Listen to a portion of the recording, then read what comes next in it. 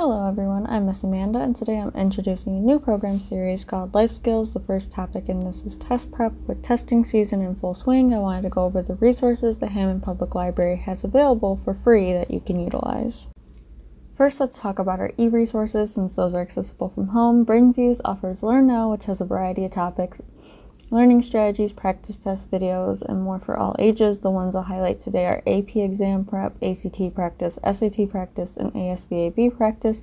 I also want to point out the driving test resource. Through this, you can access the Indiana Driver's Handbook and take practice tests. If you visit our website linked in the description, our homepage shows Youth and Teen Services. There you can go to Teen Services and click e-resources. Click BrainFuse, Learn Now, and it will take you to the homepage. There, you will need to make an account to access everything, but it is completely free. Under the High School tab, you can see a variety of help for different subjects as well as AP exam prep. The AP exam prep covers all your standard AP courses such as English, history, calculus, and so on.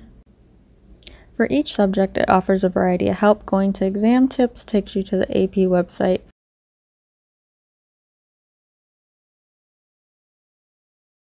Flashcards allows you to study vocabulary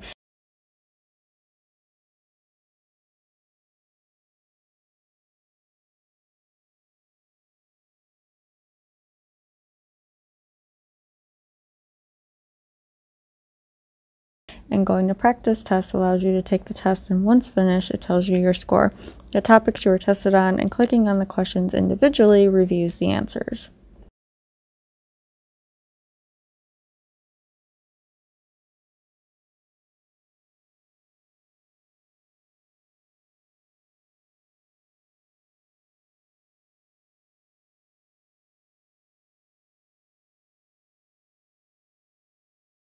Under college entrance prep, the SAT practices are similar.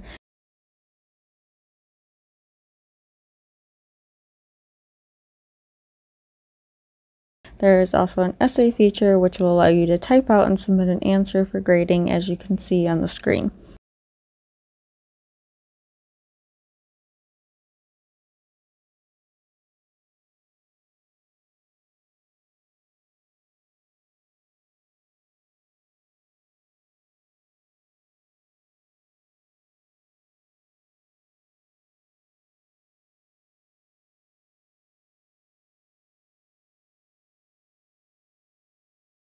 The ACT practice exams are essentially set up the same way.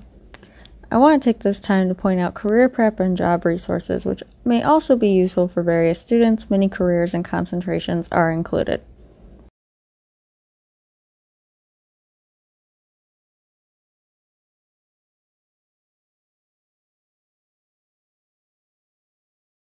Under ASVAB, you could take the practice test as well as go to the preparation package section, which has other helpful links.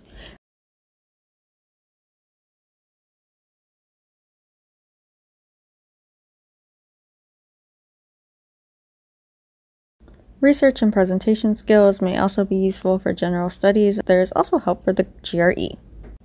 Finally, there is ESL prep for those who are learning English as a second language. Going back to the resource page, for those who need help with the BMV test, you can use the driving test resource to access the complete Indiana Driver's Handbook as a PDF.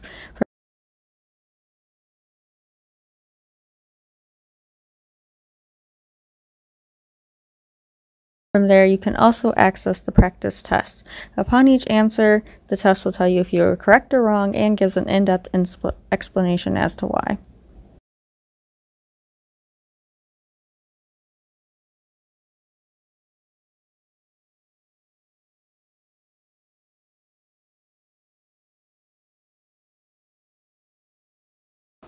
Hi everyone, now that we've gone over the e-resources, what I want to talk about is the books that we have within the library that can help you prepare for your exams. So if you come to the library, we have a collection called the Career Collection. In that one, you will find all of the practice books that are for the SAT, the ACT, the ASVAB, the AP exams.